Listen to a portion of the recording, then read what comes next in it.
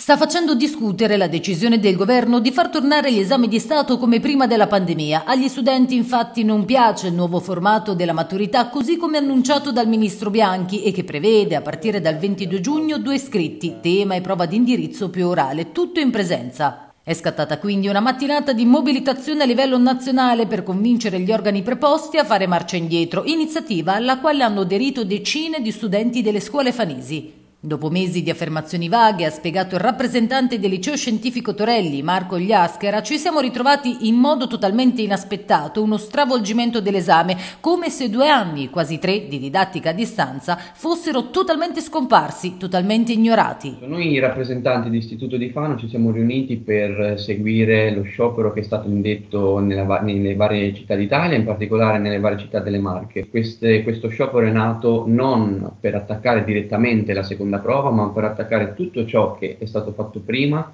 quindi manifestare per, quel, per tutto il periodo di DAD, tutti i periodi di incertezza e di difficoltà che abbiamo subito e diciamo che la seconda prova è stata effettivamente la goccia che ha fatto traboccare il vaso.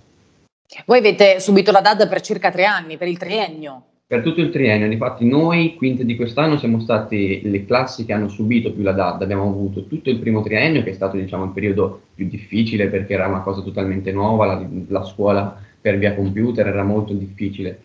Poi siamo stati, finito l'anno scolastico, siamo stati subito rimandati a scuola, eh, diciamo un po', eh, un po' 50%, un po' 70%, quindi non era anche lì, non si può parlare di un ritorno alla normalità e noi in particolare classe mia è stata una classe campione che ha vissuto un anno, un mese scusa, in presenza, ma l'ultimo mese, ma parlando del complesso di tutto il Torelli e in particolare che è la mia scuola, in particolare di tutti gli altri poli di Fano, non c'è mai stata una vera classe che è sempre stata in presenza e quindi non si può mai parlare di normalità. Con questo esame si parla tanto di noi, ha poi aggiunto Marco, ma gli alunni non sono mai stati davvero interpellati. L'esame, quasi come l'originale, è la prova di una mancanza di consapevolezza di ciò che succede nelle scuole, di come gli alunni si sentono. Dalla DAD, ha raccontato, sono drasticamente aumentati i problemi legati ad ansia e panico. Invece si parla solo di rimandarci in classe con modalità sempre diverse. Abbiamo vissuto in balia dell'incertezza, ha dichiarato, chiusi nelle nostre stanze davanti a uno schermo, privi delle normali esercitazioni e del normale confronto.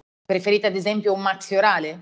Noi preferiamo un maxi orale sì perché riteniamo che questa didattica a distanza ha punito noi come ha punito tutti gli altri e quindi se all'interno della scuola non c'è nulla di normale non è possibile davvero ritornare a una normalità e quindi come sono stati penalizzati i ragazzi degli anni precedenti lo siamo stati anche noi e siamo sulla stessa barca. Diciamo. In quanti hanno aderito oggi allo sciopero? Allora, allo sciopero hanno aderito in particolare tutte le classi quinte, alla maggior parte delle classi quinte del, adesso cito qualche scuola, il Torelli di Fano, Nolfi Apolloni, il Battisti, e allo sciopero, ovvero non andare a scuola oggi. Poi abbiamo parlato anche di una manifestazione che si svolgerà più avanti, il 10 di febbraio, dove abbiamo diciamo, stimato all'incirca 300-350 persone. E scenderete in piazza? Sì, scenderemo in piazza 20 settembre, abbiamo già detto il 10 di febbraio e in particolare anche oggi sì c'è lo sciopero, molti sono stati a casa, però alcuni hanno deciso di presentarsi davanti alle scuole per comunque farsi sentire, farsi vedere e non rendere comunque eh, vano questa assenza da scuola e dare comunque un segno, un significato.